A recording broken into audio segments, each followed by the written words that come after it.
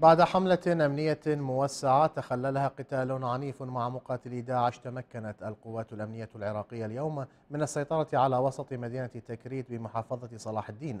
يأتي ذلك فيما أعلنت مفوضية اللاجئين في جنيف أن جسرا جويا سيبدأ يوم غد الأربعاء إلى أربيل لنقل خيام وإمدادات لإغاثة نصف مليون لاجئ عراقي.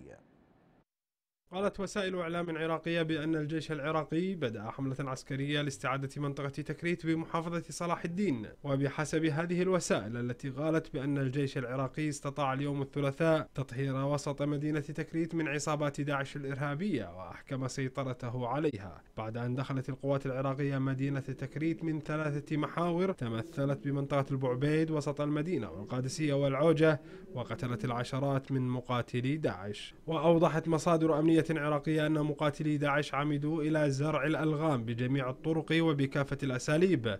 الأمر الذي أعاق تقدم قوات الأمن كما أكدت أن القوات الأمنية أحكمت سيطرتها على وسط المدينة وهي مستمرة بالتوغل لتطهيرها بالكامل. وكانت قوات الفرقة الذهبية العراقية وسرايا الحشد الشعبي قد نفذت صباح اليوم حملة عسكرية استطاعت خلالها تطهير طريق قاعدة سبايكر في مدينة تكريت مركز محافظة صلاح الدين.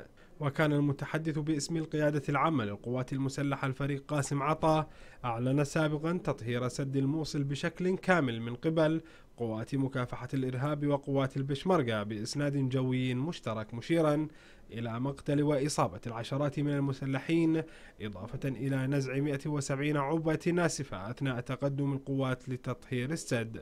إلى ذلك قالت مفوضية اللاجئين في جنيف أن جسرا جويا سيبدأ يوم غد الأربعاء إلى أربيل عاصمة إقليم كردستان لنقل خيام وإمدادات لإغاثة نصف مليون لاجئ عراقي من مدينة العقبة الأردني. وقال أدريان إدواردز المتحدث باسم المفوضية أن هذا الجسر ستتبعه قوافل برية من تركيا والأردن وشحنات بحرية من دبي عن طريق إيران في الأيام العشرة المقبلة.